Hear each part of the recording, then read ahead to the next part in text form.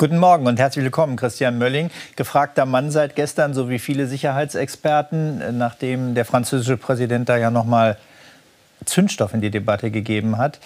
Äh, aber bleiben wir jetzt bei dieser Taurus-Frage. Was, glauben Sie, hat den Kanzler bewogen, sein Nein so zu formulieren, wie er das gemacht hat?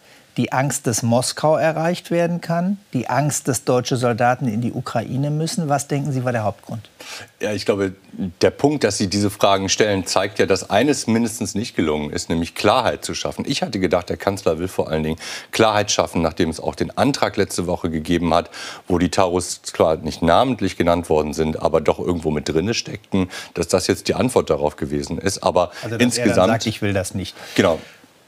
Insgesamt stehen, stehen wir heute hier und äh, ich habe den Eindruck, wir sind keinen Schritt weiter in der Debatte. Wir haben eine erneute Überhitzung, weil so viele Sachen jetzt auch noch zusammenkommen mit den Bodentruppen, mit vielen anderen Statements, die gemacht worden sind. Äh, das wird sehr schwierig sein, da jetzt erstmal das Tempo wieder rauszunehmen und Klarheit zu schaffen, wer eigentlich was warum gesagt hat. Was glauben Sie, ist tatsächlich die größte Sorge? Also der Bundeskanzler hat ja gestern auch durchblicken lassen, da müssten dann deutsche Soldaten in der Ukraine auch aktiv werden. Ist das so?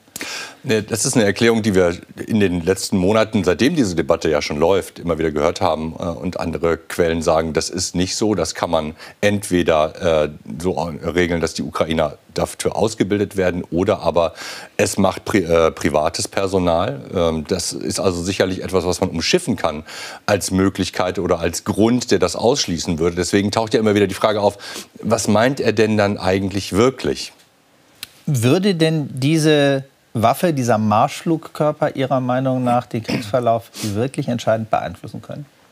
Das ist immer dieses, dieses Changieren zwischen Wunderwaffe und eigentlich gar nicht so wichtig. Ähm, er spielt eine bestimmte Rolle oder er kann eine bestimmte Rolle spielen, solange die Logistik vor allen Dingen über äh, die Kertschbrücke läuft, aber auch danach, weil er einfach. Kertschbrücke ist die Brücke zur Krim. Genau, ist die Brücke zur Krim, wo einfach viel Logistik drüber läuft. Die Russen werden sich aber schon Wege überlegen und sind gerade dabei, sie zu bauen, um diese Brücke nicht mehr so wichtig sein zu lassen. Auch das gehört dazu. Das heißt, der sinkt der Wert dieser Waffe. Äh, sie bleibt dennoch wichtig, weil selbst ähm, wenn es nicht mehr die Kertschbrücke gibt, auch die, die Reserven an den anderen Raketen, die durch Großbritannien und Frankreich geliefert worden sind, die sind natürlich irgendwann endlich. Das heißt, da muss es irgendwann, wenn man den Vorteil einer solchen langreichweitigen Waffe behalten will, irgendwann ein Nachfolgesystem geben. Jetzt verweist der Kanzler immer darauf, dass wir insgesamt ja sehr viel mehr tun als europäische Partner, gerade auch als Frankreich. Äh, hat er da so Unrecht, wenn er, wenn er sagt, ihr fordert immer nur ein Waffensystem, aber ihr seht nicht, was wir in der Gesamtheit alles liefern? Ich glaube, er, hat schon recht, dass, ähm, dass viel von dem, was Deutschland zurzeit tut, nicht gesehen wird, weil wir immer wieder diese sehr tiefen negativen Schlagzeilen haben, was irgendwie alles nicht kommt und die innenpolitische Debatte sich darüber entzündet. Gleichzeitig ist er Politiker und er weiß, glaube ich, wie das eigentlich funktioniert, das Spiel.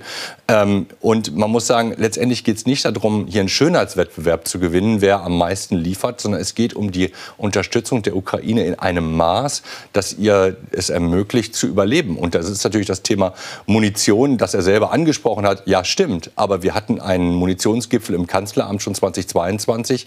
Da ist relativ wenig passiert. Und äh, kurz zur Einordnung zum Schluss äh, die Äußerung des französischen Präsidenten, auch Bodentruppen nicht auszuschließen.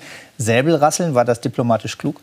Ähm, ich finde es total aus dem Zusammenhang gerissen. Es war eine Antwort von Ihnen auf eine Frage einer Journalistin, die er äh, beantwortet hat.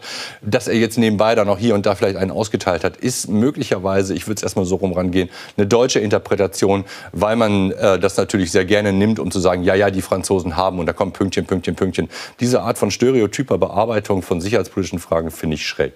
Also auch im deutsch-französischen Verhältnis ist etwas zu tun, wenn man der Ukraine mehr Unterstützung gewähren will. Danke für die Erläuterung, Christian Bölling.